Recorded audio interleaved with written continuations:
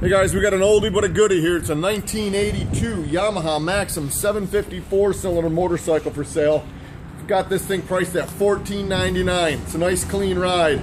Needs nothing. Gas and go. You can't go wrong. We got this thing priced to move.